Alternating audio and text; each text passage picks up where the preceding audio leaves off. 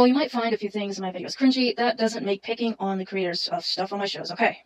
As tempting as it is to rage at or insult them, it does more harm than good in the end, especially since it can drive people to self-harm and or suicide. Please pick your battles wisely. That means don't harass any of the creators of anything featured in my shows, cause cyberbullying's bad, okay?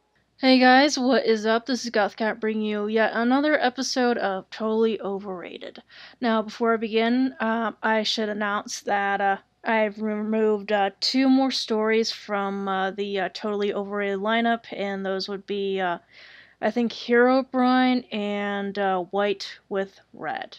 You know, just like I've told you guys before, I'm, I'm, uh, I'm losing passion in the series, and it's a limited series anyway. So yeah, like I said, I just want to end it as quick as possible. Um, which leads to today's episode, in which we uh, take a second look at Jane the Killer. Uh, this time, uh, I'm going to be reading uh, Jane the Killer, the uh, the real story, which is the uh, most well-known Jane the Killer story in the creepypasta community. Um, it is much longer, so I don't know if I'm going to be reading this in one part or two. And um, if I do it in two parts, I'm pretty much just going to release part two at right after uh, I released part one. Um, so yeah, well, I changed my mind about Jane the Killer um, after reading this second story. Find out in today's episode of Totally Overrated.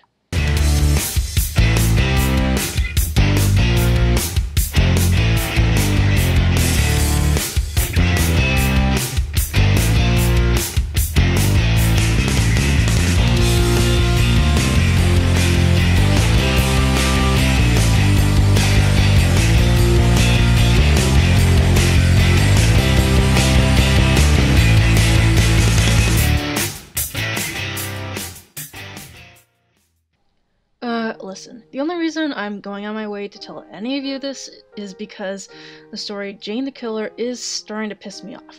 My real name is Jane Arkensaw, aka Jane the Killer, and this is how I met Jeff.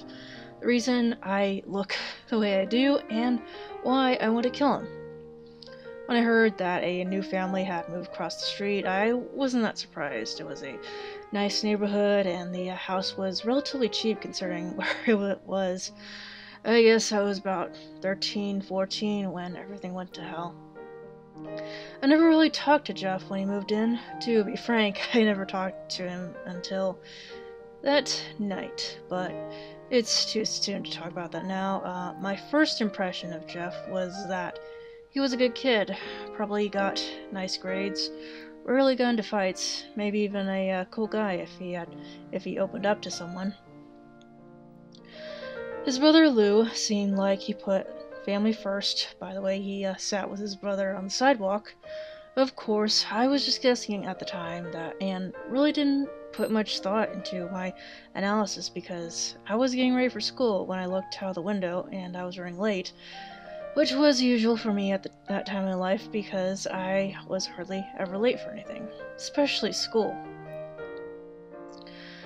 I wasn't surprised when I saw Randy and his stooges go up to Jeff and Lou on that stupid skateboard of his. Randy was nothing but a bully. He always picked on anyone who was smaller than him. He was even the reason why my parents drove me to school instead of letting me take the bus like everyone else. Everyone had their lunch money or some kind of cash given to Randy and his goons because some some toll that he demanded from everyone. We all knew Randy's group had knives and threatened to use them on us we ever told anyone about the money they took from the other kids on the block. Everyone except the new kids they were trying to uh, intimidate like the rest of us. When I saw Randy talking to them through the window, I just looked away. It was wussy thing to do, but I had better things to do than watch another kid hand over his money to Randy. But curiosity got the better of me, and I looked up a few seconds later. What I saw left me speechless. Jeff was standing now, and it looked like Randy already had what he wanted. Just sit down, I thought. Don't be stupid. Then I saw Jeff punch Randy in the face and break his wrist. Oh my god, I whispered. Then I yelled, You idiot! My parents ran down the stairs and asked what happened. Then they looked outside and saw what was going on. Jeff had already cut the skinny guy. I think was, his name was Keith, and he went down screaming. Troy only went down with a single point, punch, since my house was across the street from where uh, Jeff and his brother were sitting in, with the uh, front of the house having big windows. We saw the whole thing, or at least I did. My uh, parents came in after part where Randy stole their wallet, so they didn't know the whole truth. It was disturbing watching Jeff fight. He was enjoying himself too much. I felt a knot in my stomach like something was happening that shouldn't be. And from the look on Lou's face, Jeff didn't do this kind of thing often. Next thing I know, I hear sirens, and the new kids bolted out of there. The cops came around with the bus driver to check the victims. It seemed they were going to be alright. You know, considering the amount of crap kicked out of them. Since my parents' policy was no cops ever since dad got framed by a narc cop when he uh, wanted to draw attention off himself when police were investigating the case of missing coke. It ended with my dad quitting the force. So when we heard sirens, we went into the backyard, got into the car, and left. When my parents drove me to school, they told me very clearly that they didn't want me talking to Jeff ever. I did not disagree with them. I had art first period, so I didn't see Jeff until close to the end of school. I can still see the uh, colors in my artwork if I think hard enough, but when I try to look at anything new, it all seems gray. I guess that's the uh, price someone pays for losing their innocence. I didn't see Jeff until the final period of the day. When I, I did, he seemed off. At first, I thought he was just faking the joy so people wouldn't suspect him for the crime they did, but he really was enjoying himself.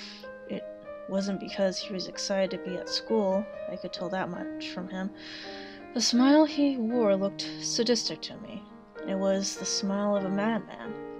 The second that bell rang, I bolted out those doors as fast as I could. Nobody but me knew what Jeff really was a freak. The next day seemed to be passing without incident at first. Then I saw the police car in front of Jeff's house. Looks like they got you, I thought. Nobody could have gotten away with something like that. You know, with a neighborhood watch and everything. But I was wrong with who they arrested. Instead of coming out with Jeff like I expected they would, the police came out with Lou, his brother. I was barely forming the thought of Jeff framing his brother for the assault when he came out of the house yelling at Lou. Lou, tell him I did it! I was able to hear him this time because the front door was open at my house.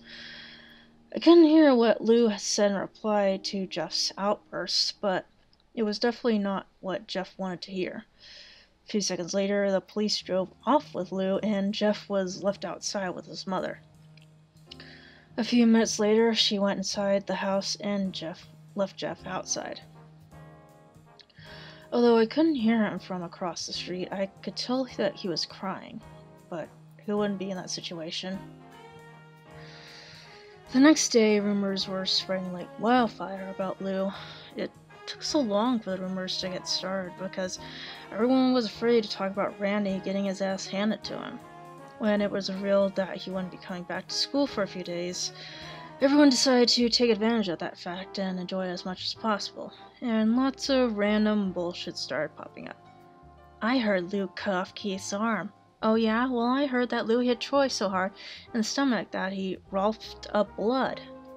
That's nothing. I heard that he punched Randy so hard that it came back out of his head, and etc. etc. Personally, I didn't want anything to do with Jeff or his brother, but he just looked so alone and upset that I had to do something. So I wrote him a note telling him that he had a friend in this place and that I was going to testify at Lou's trial about what really happened. I left the note at his desk, signed with the uh, letter J before class started, then left the room. When I came back back, uh, Jeff was at his desk and the note was gone. Saturday rolled around and I was home alone while my parents were at work. The kid next door was having a birthday party. At the time, I left my window open because I wanted a, a nice breeze in my room while I did my homework. But the kids were getting so loud that I decided to close my window. I was about to close it when I saw Jeff playing with the kids. He was running around wearing one of those fake cowboy hats and carrying a toy gun. He looked so ridiculous I had to laugh. Maybe he isn't the monster I think he is, I thought, ashamed of myself for suspecting he could have been one. I was I was I was closing the window. I saw Randy, Keith, and Troy jump over the fence on their skateboards to where Jeff was. Again, I said to to the open window. I saw Randy and Jeff exchange small talk, but I couldn't hear what they said over the sound of the kids yelling and screaming. Then Randy rushed at Jeff and tackled him.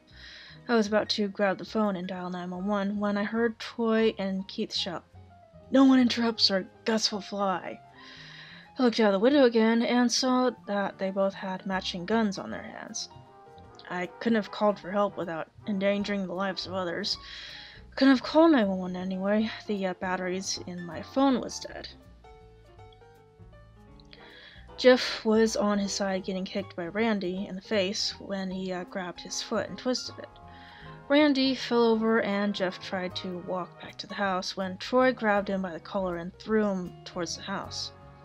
I heard glass breaking and I knew that then that they were going to kill him. And you asshat, I screamed at him but he couldn't hear me over the sound of the kids screaming. I couldn't wait anymore, so I ran to my parents' bedroom and searched for my dad's cell phone, hoping that he forgot at home. My heart was pounding in my chest, knowing that the longer it took for me to get help, the higher the chance of someone getting killed was. I finally found the phone underneath the bed. I wasted no time punching the numbers. 911, hello? I need help. There's an emergency going next door. Some guys jumped the fence and are beating up someone. They've got guns. You need to hurry, please. Okay, I, miss, I need you to tell me the address, and I'll send help right away. Quickly told her my address and the address of the house next door. Please hurry, I said. It's okay, just stay in line. Bang, bang, bang. I heard gunshots come from next door. I yelped and dropped the phone. It landed on the ground and broke. Then I ran into my bedroom window to try to figure out what was going on. But no sooner had I poked my head out of the window, I heard the whoosh of fire and the screaming. I'm going to make Jeff scream like that again when I find him. The only thing I can compare it to is the death cry of an animal. It was at the time for horrifying, but now it sounds like music to me, and there's nothing I want to hear more in the world than him screaming. I saw fire spew out of the house like an angry dragon. I ran downstairs immediately and got the portable fire extinguisher from the kitchen and ran outside. As I was running, I popped the pin for the extinguisher for immediate use. Luckily, the door was unlocked as I barged in, but when I saw Jeff, I completely froze. He was lying at the bottom of the stairs, almost completely on fire, with adults trying to put it out. I saw bits of his skin through all the commotion some parts pink, some parts charred, but it was all covered in red. At the sight of all this, I screamed and then passed out. Last thing I remember is some of the adults running towards me. Whether it was to help me or get the fire extinguisher, I don't know. When I came to, I was in a hospital bed wearing one of those uh, gowns that a patient wears. A nurse came in a few moments later. She had uh, long brown hair and a bun in her under her hat. She looked like she didn't want to be there. I asked her what happened.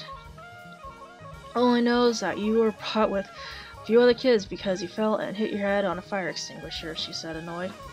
Fire extinguisher? I reached out my hand and touched my head. I felt bandages and a large bump the size of an orange. Then I remember Jeff. One of the guys that came in here with me, the one with the burns, is he going to be alright? She said, listen, there was two boys that were brought in with you that had burns, and no, I'm not letting you see him just because he's your boyfriend. I felt the heat rise in my face. He isn't my boyfriend. I'm just worried about him. Wouldn't you be worried about someone you just saw burning alive in front of you? I tried to keep my voice steady, but my voice quivered enough to make it sound like I was lying. Whatever your parents are here, by the way. Want to see them? She asked. Yes, of course. Anything to get me away from the, that nurse. My parents came in, and the nurse finally left. They asked what happened. I told them everything the fight, the note, all of it. I knew that Randy was no good, my mom said. So, have you heard anything about Jeff's condition? I asked. No, not a thing, said my dad. We just got here as soon as we heard about what happened to you. But who told you? I asked. I didn't think I saw anyone at the party that my family knew. The hospital called us, Mom said. Well, I guess that makes sense. It made absolutely no sense to me, of course. How how would someone be able to identify me without me having any form of identification? I looked in the doorway and saw a man and a woman standing in there. My parents followed my gaze and saw them too. Uh, excuse me, but is this Jane Arkensaw's room? The woman asked. Yes, my mother answered. Uh, who are you? I'm Margaret, and this is Peter, my husband. She gestured to the man beside her. We're Jeff's parents. I sat up in my bed. I'm Isabel, and this is my husband Greg, and our daughter Jane, Mom gestured to me. So, you're the girl who ran in with the fire extinguisher, Margaret said. Yes, I replied, quietly embarrassed. Embarrassed. Is your son all right? Just came out of surgery a few hours ago. The doctor said he will be fine. I relaxed at the thought. That's good, I said. Listen, I know what happened to Jeff and Lou on their first day of school. Then I told Jeff's parents what really happened to Randy and his crew. We had no idea that Jeff was capable of something like this, Peter said. I'm willing to testify that Lou didn't beat up anyone, that Jeff only beat up Randy and his gang in self defense. No need, said Margaret. Lou is being released from jail after what happened to those boys. That's good, I said. We just came to say thank you for trying to help our son Jane. It warms my heart to see selfless people in your generation. I blushed. Uh, I did anything anyone would have done in my situation. I looked down. I'm not a hero. Nonsense, Margaret said. The least we can do is invite you over to our place for dinner when Jeff gets out of the hospital. I looked at my mom and dad. It will be an honor, my mom said. It's so then. I will call you as soon as Jeff gets out of the hospital. We said our goodbyes, and then they left. About two days passed, and I was allowed to be released from the hospital. During that time, I had no contact with Jeff or his family, but I heard that Lou was released from jail and Jeff's wounds were healing. When I got back to school, I became the center of attention, more or less because I was the only one who saw what happened at the party. But the only people I told about what happened were my friends, Danny, Marcy, and Erica. I didn't know what to tell them, so I told them what I saw. Sounds like Jeff has it, his ass handed to him, said Danny. She had raven black hair with sapphire blue eyes. She was usually the most level headed of us. Well, at least he went down fighting. I heard he took those idiots to the hospital with him, Erica snickered. She always dressed like she was from the 80s or something long, thigh-high, rainbow-colored socks with her hair with hair to match, and always wearing some kind of backpack with her. He also took Jane to the hospital. Uh, maybe, maybe she was trying to beat him up too. Marcy laughed. She seemed to be the uh, girly girl of her little group. She was blonde with brown eyes, and nearly every time we saw her, she had some sort of pink on her, whether it was the color of her shirt or the jewelry around her neck. And she was the one of the biggest drama queens I knew, always stretching out the truth or blowing something out of proportion. I told you I went over there to try to help Jeff because something was wrong, I muttered. I was the plain Jane, brown hair, green eyes, completely unremarkable looks wise. Or maybe you wanted to see your loved one last time before he left to go get help for himself, Marcy said in her dramatic voice. I just looked at her with my eyes the size of dinner plates. What? You can't deny it, Jane Arkensaw. You have a crush on Jeff. Every blood cell in my body decided to migrate to my face at once when she said that. What? No, I just wanted to help him, that's all. Liar, I saw you leave that... I saw you leave that note you left on his desk. What was it? A confession of your love for him? No, it was nothing like it at all. I was just. So you admit you left him a note then? What do you mean? I was guessing. She gave me a cynical little smile and then just waited for my response. The other girls started laughing at me. Jane, it's only a joke. I was kidding, Marcy smiled. Your face is redder than a tomato, Erica cackled. I hate all of you, I grumbled. Oh, stop being serious, Danny put, put a hand on my shoulder. Come on, let's get to class. The weeks went by, everything seemed to be normal. I think Lou even made a few friends. Everything was normal and nothing happened. Then Lou came up to me one day and told me about Jeff. Uh, excuse me, your name is Jane, right? I turned around and looked. It was Lou. Yes, you're Lou, right? Jeff's brother? Yeah, he uh, looked a little uncomfortable. Then again, so was I. Look, my parents wanted me, wanted me to tell you that Jeff is getting his bandages removed in a few days, so I expect a phone call inviting you to dinner soon. Okay, well, thank you, I said. He was about to turn away when I said, Hey, listen, what you did for Jeff, that was really respectable. Thanks, I heard you tried to help my brother with a fire extinguisher. That was cool. Yeah, well, thanks. See you around, I guess. Yeah, see ya. I was watching him walk away when I heard a little voice beside me say, Cheating on your boyfriend, are you? The fuck? I turned around, surprised it was Marcy. And with his own brother, nonetheless. She fake gasped. Oh, shut up, I yelled, and I turned my head to make sure Lou didn't hear me. He didn't. Let's just get to class, I grumbled. Two days passed until the phone rang. My mom answered it. A few minutes later, she got off and told me this. Jeff is getting out of the hospital today, Jane. I looked at her and said, That's great. It looks like we'll be having that free dinner in a few days, she chuckled. A few hours passed, and I heard a car pull into a driveway in the street. I looked out the window and saw Jeff's car in front of its house. Jeff's home, I thought. I decided to watch out of curiosity to see what he would look like. Dear God, how long I was. His dad got out, then his mom, then Lou, but what I expected Jeff to look like couldn't be farther from what I saw. He had long black hair down to his shoulders, white leathery skin, and that smile. That smile was the same I saw when he was in, in class after he beat up Randy, Keith, and Troy. Jeff looked right at me. Into my eyes, I could feel those soulless, sadistic eyes burn right into my soul. I'd still shake from the memory even now as I typed this.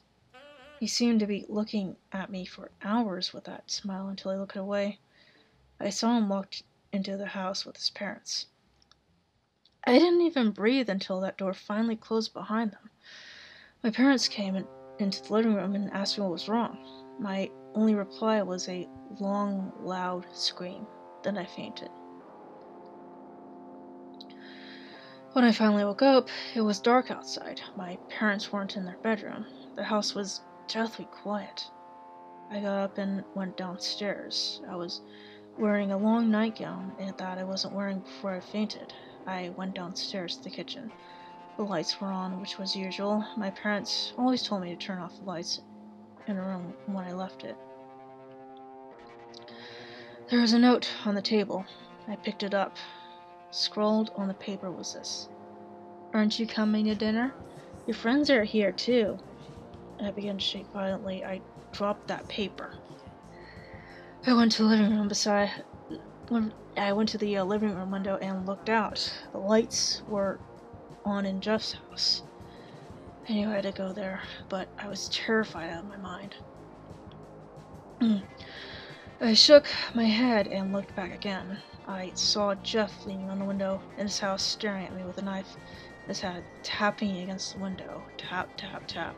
He was still smiling. Tap, tap, tap. I started stepping back from the window, never taking my eyes off him. Then I turned and ran away from the window and into the kitchen. When I peeked out of the kitchen to look out the window, all I saw was a smear of red on the window. I turned and round and looked at the kitchen. Everything seemed to be in this place, even the knives. I grabbed one of them and held on tight. Then I found the phone and tried to dial 911. But the phone line was disconnected. I had no idea where Dad's cell phone was, or if, it was even fixed. I didn't want to go upstairs to find it. I didn't want to get stabbed in the back while I was looking for it. And if I went to ask one of the neighbors for help, Jeff could kill or wh- whoever hurt whoever he held captive. There was only one choice to go fight Jeff alone. I clutched the knife tighter and went to the front door, put on my shoes, and went outside. My hand lingered on the doorknob as I stepped outside, but I knew what I had to do. I let go of the doorknob and marched across the street to Jeff's house. As I got closer to the front door of his house, I began to slow down. My knees began to shake, my palms began to sweat, and I started to breathe faster and shallower. Before I knew it, I was standing completely still on the front doorstep, panting like a dog. I manned up, grabbed the doorknob, squeezed my eyes shut, and jerked it open. I stood there in the doorway with a knife in my right hand and the doorknob in my left, too terrified to open my eyes. Until I heard a voice say, Looks like you made it. I'm glad you did, friend. I opened my eyes, then screamed. His eyes were large and unblinking, and his smile was red. He had, car- he had carved a smile into his face. His clothes were covered in blood, and then I passed out. When I woke up, I was at a dining room table. My knife was gone, and I looked up. I saw people sitting at the table. It was my parents Jeff's parents, his brother Lou, and my friends. They were all dead, with smiles carved into their faces and huge red cavities in their chests. The smell was unbearable. It's indescribable, unlike anything I had ever smelled before. It was a smell of death. I tried to scream, but I had a gag in my mouth, and I was tied to a chair. I looked around at the room in disbelief. Tears were welling up in my eyes from the sight and smell of the bodies. Look who's finally awake. I turned and looked beside me. Jeff was there. I tried screaming, but the gag was in the way. Suddenly, I was beside with the knife against my throat. Shush, shush, shush. It's not polite to scream at friends. He began sliding the blade across my face, constantly tracing invisible lines from the corners of my mouth up my cheeks with a, in a large grinning smile. I shivered as he did this. When I turned away from him, he grabbed the back of my head and forced me to look at the scene at the table.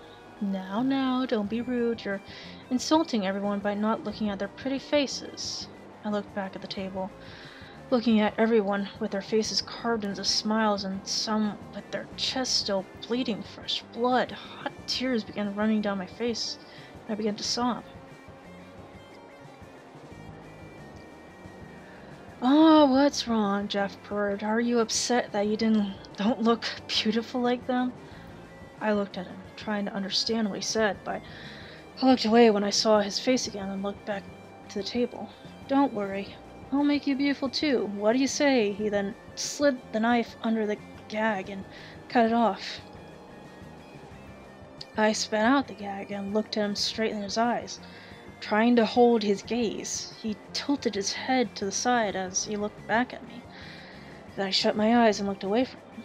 Then I muttered darkly, Go fuck yourself. Then I turned to look at him again. You joker reject. He just laughed in my face. I preferred it when he just smiled. You're even funnier than I thought. He came closer to me. I looked away again, feeling his breath against my skin.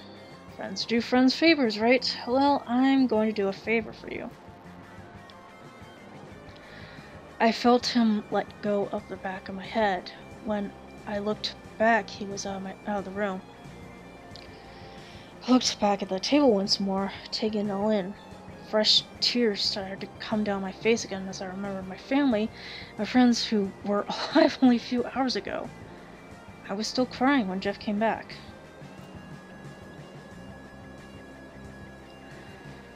Don't cry, he said. It'll all be over soon. I looked down at him and he saw he was holding a jug of bleach and a can of gas. His eyes widened and I looked back at him. I didn't have any alcohol, so this will have to do. Then he began to douse me in bleach and gasoline. We'd better hurry, Jane. I've already called the firemen. Then he held up a single match. Lit it. then threw it at me. The flames erupted as soon as the match came to contact with me. I screamed as loud as possible. The pain was unbearable. I could feel the flesh melting off my body, the heat invading every pore in my body, blood evaporating in its veins, and my bones becoming charred and brittle. Before I blacked out, I heard Jeff laughing. See you later, my friend. I hope you become as beautiful as I am. then everything went to black.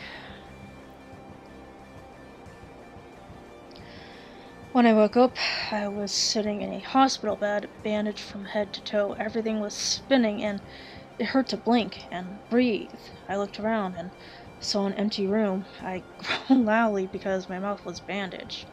Everything hurt. A nurse came in a few minutes later. Jane, can you hear me? I looked towards her. The room started spinning even more. Jane, I'm your nurse Jackie. I don't know how to say this, but your family died in a fire.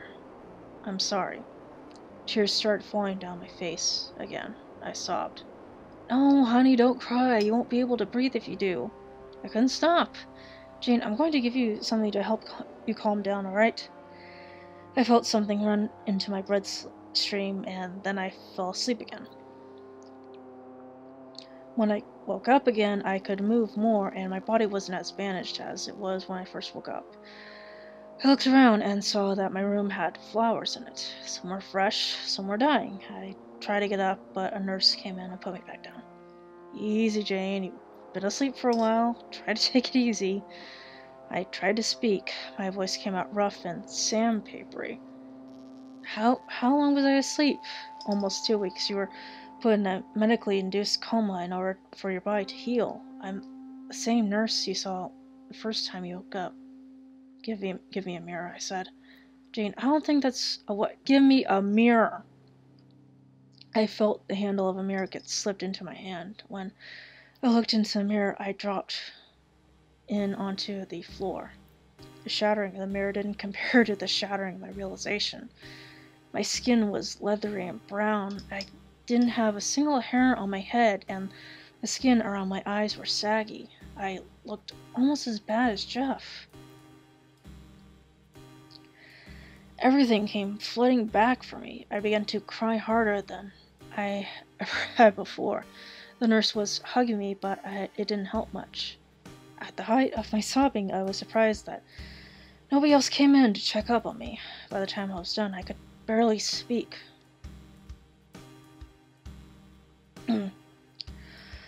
Someone came into the doorway. Excuse me, I have a delivery for a Miss Arkensaw. I'll take those. Jackie stood up and went to the doorway. I didn't want the delivery guy to look at me, so I stared at the wall in front of me. Someone certainly cares about you, Jane. Looks like the same person who sent you all these flowers got your package, too. I looked around at her. She was holding a pink paper package tied with brown string. I reached out and took it from her. The second I took that package from her, I knew something was wrong. Excuse me, but could I have something to eat? I asked as sweetly as possible. Of course, I'll get you some food right away. Jackie smiled back, then left the room. My hand shook as I grabbed the string and pulled it. The paper lightly bounced up, and I saw something that turned my blood into to ice. It was a white mask with black around the eyes and a black feminine smile. It also had a black lace covering the eyes holes of the mask, so even though someone couldn't see my eyes, I could see them. There was also a long black dress with a turtleneck, black gloves, and a black wig with beautiful curls, along with all these things. There was a bouquet of black roses and a sharp kitchen knife. Attached to the mask, uh, there was also a note. Jane, I'm sorry I messed up with trying to make you look beautiful. So I gave you a mask that will let you seem beautiful until you get better. Also forgot, you forgot your knife. I thought you would want it back, Jeff. By the time Nurse Jackie came back, the present was hidden under my bed. I told her that that all their that there I told her that all that I told her all that was there was the flowers. She seemed to be disgusted by them, so she threw them out. I thanked her for that. That night, when everyone was either asleep or gone home, I sneaked out. The only thing I had to wear was that dress, so I put it on and found a pair of shoes outside in the hallway, forgotten by some careless nurse. I wore the wig to look less inconspicuous. I didn't know where I was going, and I didn't care. When I finally stopped walking, I was in front of a cemetery. I went inside and found two tombstones Isabel, Arkensaw, and Gregory, Arkensaw. I sat down in front of the tombstones and cried once more. When I finally sat up, the sun was beginning to rise, and so was a new chapter in my life. I took the mask and put it on, then picked up the knife and held it as tightly as I did before. Then I turned around and looked at the rising sun. On that day, I swore my revenge against Jeff the Killer and donned my new name, Jane Everlasting. For I want the only thing to be more everlasting for Jeff than his madness to be his death. Ever since that day, I have been trying to find Jeff and kill him, hunting him, hunting him like the animal he is. I will find Jeff, and I will kill you. As for the photo that has been popping up of me saying, don't go to sleep, you won't wake up, that pretty much explains what I want to do with Jeff's victims, prevent them from becoming victims in the first place. Whoever said that I kill them so they don't get killed by Jeff is a gross overstatement. So, this is my story. Whether you accept it as fact and is not up for me to decide. Now, if you excuse me, the sun is going down and the hunt is beginning once more.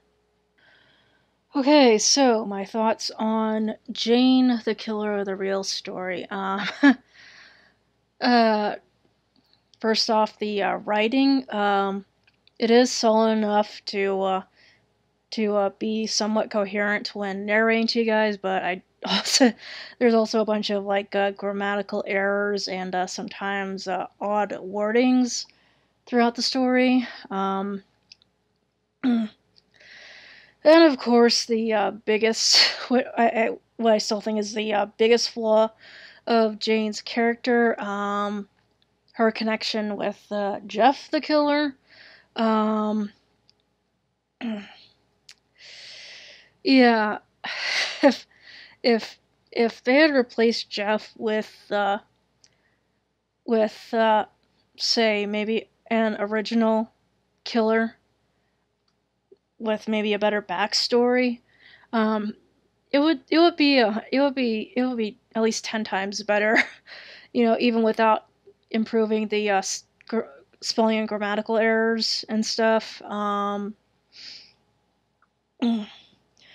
Uh, there were times where I felt that uh, that the author was just throwing in plot points to uh, make excuses for how Jane would be integrated into the uh, story. Um, there's also some. Uh, I believe the author is also alleged to have uh, Nazi art, although I have never found an internet trail to to confirm this. Um, is Jane a Mary Sue? not really. Um, she does have a few flaws, and uh, the world doesn't. Well, it kind of sort of revolves around her, but but not really. You know. obviously, obviously, obviously, she does face challenges and stuff. So I don't think she qualifies as Mary Sue. However, she's not really a good character either. Um, like I said, it's mostly due to, to her connection with Jeff, but, um, uh, I don't know. I, I guess I guess it's the story that surrounds her that's truly truly bad, you know. Um, um, uh, another thing I think her group of friends is kind of silly. You know, the author was giving uh, brief descriptions of each of them when they were only in the story for that, that one scene and uh, and uh, to be uh, and only to later be brought back as corpses. You know, it. It. yeah. Yeah, I think I think it's mostly the story that surrounds her and uh uh yeah. Yeah, basically she's not like any of the uh, Mary Sues that I've read about um, as far as reading crappy pastas are concerned, but um but um her story sucks balls. That's pretty much all I got to say about that. Um next time on Totally Overrated, I'm to be reading another controversial sh- selection called Gateway of the Mind. I'm pretty sure you guys are all familiar with the story. In fact, I'm pretty sure uh, a lot of creepypasta fans love the story, but honestly, I think there's I think there's some stuff wrong with it. So that will that's pretty much what I'm to read next time. Um, this is GothKatt signing out. Thank you and goodbye.